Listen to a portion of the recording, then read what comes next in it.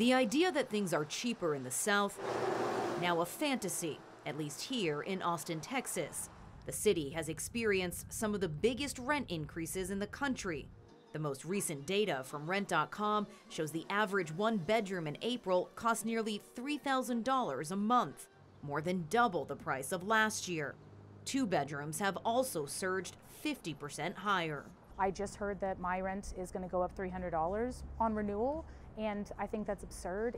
I'm trying to move in with three other guys now to make it a little cheaper. I moved down here thinking it would be cheaper compared to moving to Chicago or New York.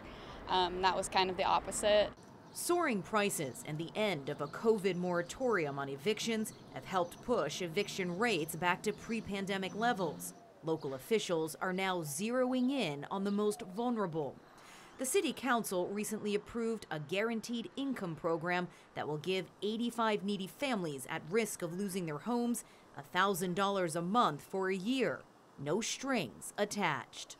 Once someone is homeless, it costs a lot of money to get them off the streets. You need case management, you need housing, they're going to have health problems. If we can make the investment up front, I think that's money well spent. At least 28 U.S. cities, including Chicago, Pittsburgh, and Los Angeles, have tested similar guaranteed income schemes. And while critics argue the programs are an unnecessary handout that encourages people to drop out of the workforce, research shows the exact opposite. In the Stockton, California program, where 125 randomly selected citizens received $500 a month for two years, full time employment among recipients went up by 12 percentage points. These are, you know, working class families, and they're spending it on um, paying down debt, uh, groceries, the sorts of things that you might expect somebody would do um, if they suddenly have a little bit of breathing room. That breathing room, says Stephen Nunez, can have long lasting effects on physical and mental health, especially for children growing up in poverty.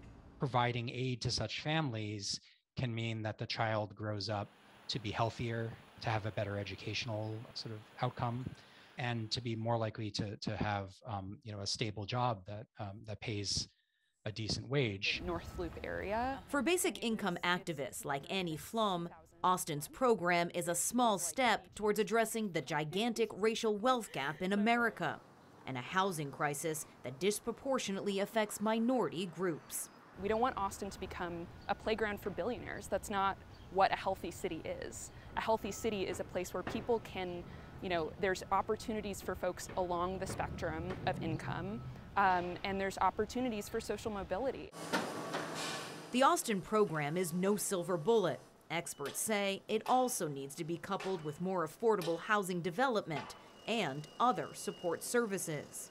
Austin's guaranteed income program is just a pilot. Data will be collected and shared, but there's no guarantee that the program will be renewed in a year's time, which could make it difficult to assess just how impactful it can really be in the long run.